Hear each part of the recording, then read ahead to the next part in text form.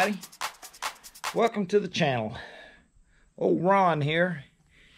Well, I've done it again. I went and I've upgraded my equipment.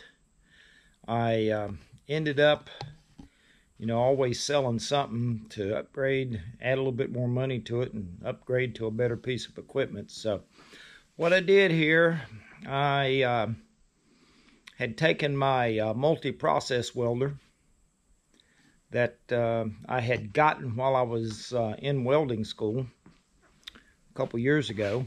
And I decided that I wanted something with a little bit more oomph than um, a little bit more power than my multi-process. So what I have done, I took my uh, Millermatic uh, 215, which uh, was TIG, MIG, and stick, and I've upgraded, sold that online and to a gentleman locally here.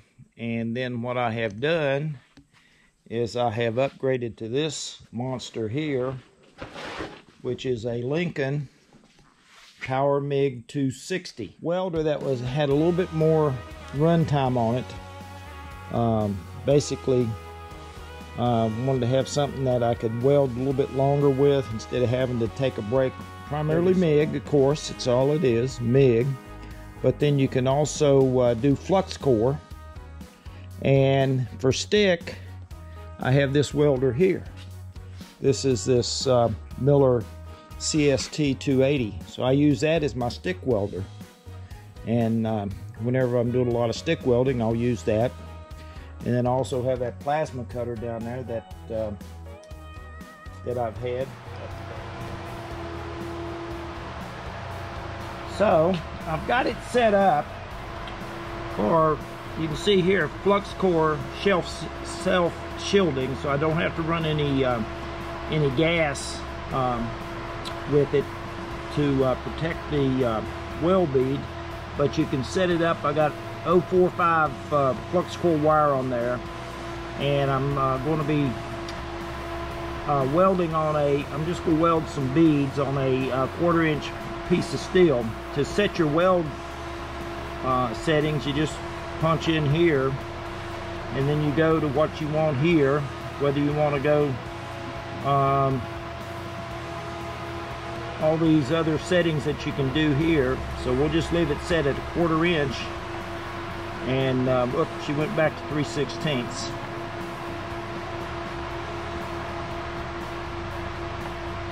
Select go down quarter inch.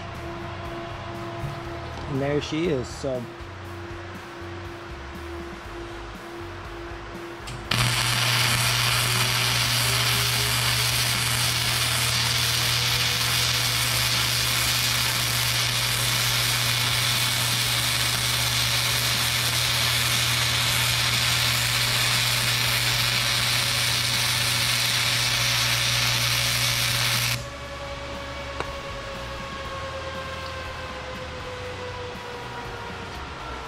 Yeah, that's one thing about flux core is that it produces a lot of uh, smoke.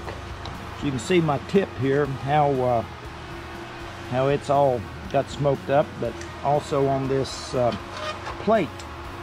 One thing about it though, that uh, slag tips right off of there.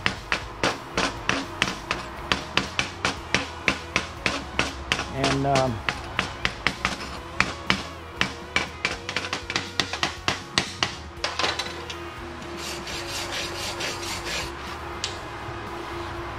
But yeah, it does a decent bead on the um, plate. Get this up here a little bit closer for you to see. But it runs a runs a nice bead on that. So what I can do now is I'll um, change over and we'll get this um, machine set up for uh, uh, regular solid wire. In this uh, little compartment here, I've got my um, drive rolls in here. Now these are the smooth um, uh, rollers. They don't have, they're not knurled, which uh, that uh, flux core needs. So these are just the smooth rollers.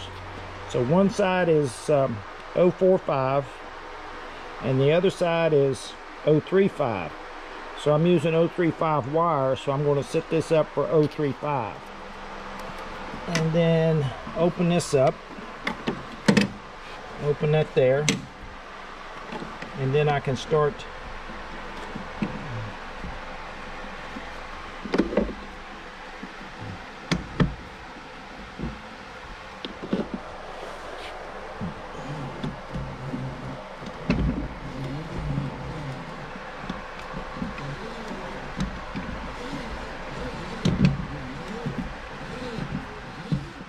and I'll find my little hole. Pop that through there so it doesn't come unwinding on me. And then what I'm going to do is just run this back across here too. Just to be on the extra safe here. Then I'll take this off. And pull this off. Do is twist that and pull that off. So there's my null, null, knurled, knurled uh, drive rollers. And I'm going to change these out and put on the 035. 035 is on the inside. I found this out the first time I ever loaded this, that the 035 has to go on the inside facing the machine.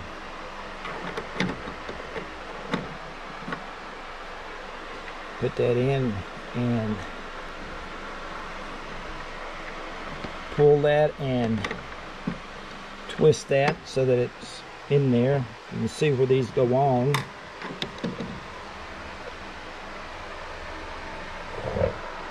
And then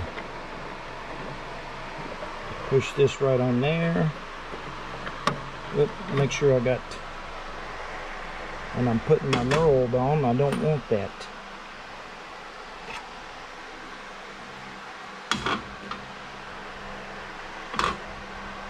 There's my smooth 035 facing in because that lines up with the hole of the uh, gun, the hose that goes to the gun.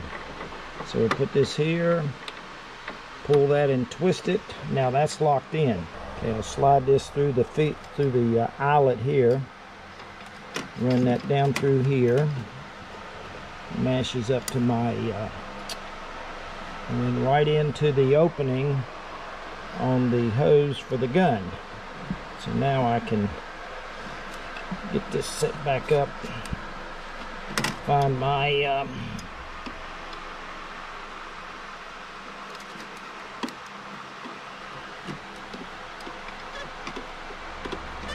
Okay, got that set up. Close this.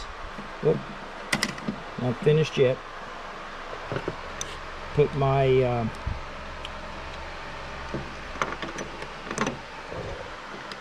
what keeps that wire right up against that groove. We got to put this back on there.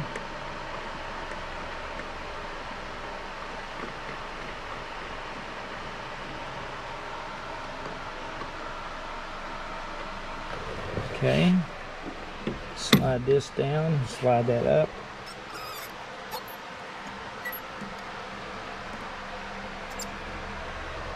Roller here and then underneath you got another drive roller. So um, between these two drive rollers is where you wire go.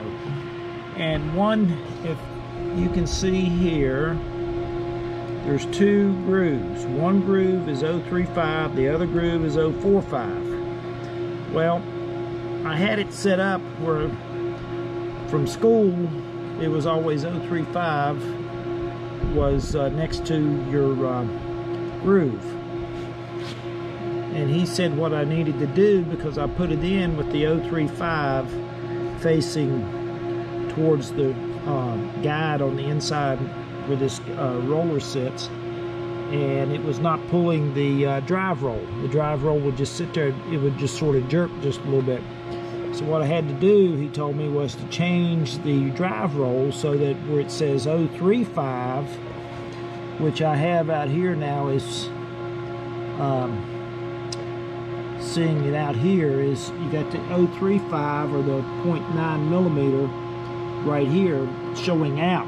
That puts the 035 groove, which is on the inside, not the outside. So the 035 is on the opposite side of the drive roller. So if anybody gets a uh, Hazard Power MiG 260, that's uh, one of the problems that come along. So uh, another bead with the solid wire. This is flux core, and I'll do a solid bead with the, uh, or do a, a, bead with the solid wire. Uh, they say to have your uh, stick out on this uh, gun anywhere from 3 eighths to a half inch. So let's go ahead and run a bead here, and I'll show you how it looks compared. I do have the gas on. I'm running at uh, uh, 20 CFH back there, so uh, it should uh, cover the wire pretty well with the gas. So let's see what happens here.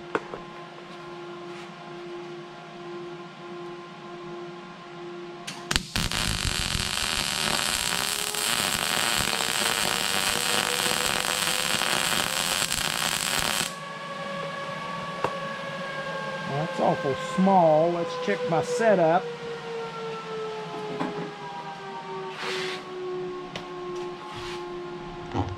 I may have the wrong uh, size. I do.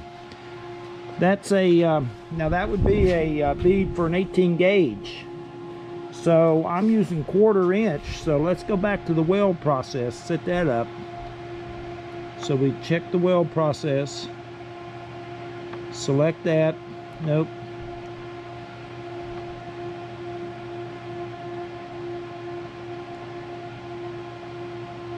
So you can go up to one half inch with this uh, with this welder too, which is I wanted to be able to uh, weld a bigger piece of steel if I needed to. At times on the farm, you never know. So anyway, so we got that set up.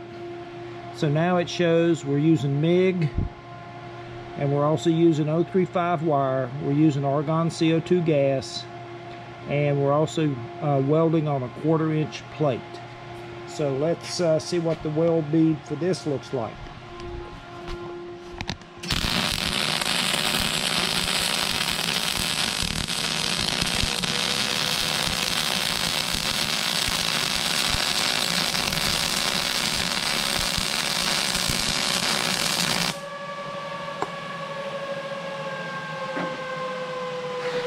All right.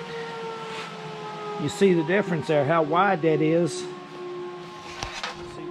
Okay, you can see the, uh, this is flux core. This is for 18 gauge. That's what the bead is. It's a smaller bead. Now for a quarter inch steel, this is the bead you get here. So it gives you a much, because your wire speed is definitely a lot, a lot faster. Uh, your voltage is uh, bigger on that too. So you can see here the voltage is uh, 21 volts, 370 inch per minute of uh, wire speed. It's a good welder. I'm really pleased with it. Like I said, I wanted a welder that do some umph. And uh, this welder actually does hump for what I do here on the farm. That's basically it. So anyway, thank you guys for tuning in. Hopefully um, that little tidbit there of information with the drive rolls uh, would help anybody if they ever have one of these. Want to thank everybody for watching. Thank my subscribers. And let's get out and do something.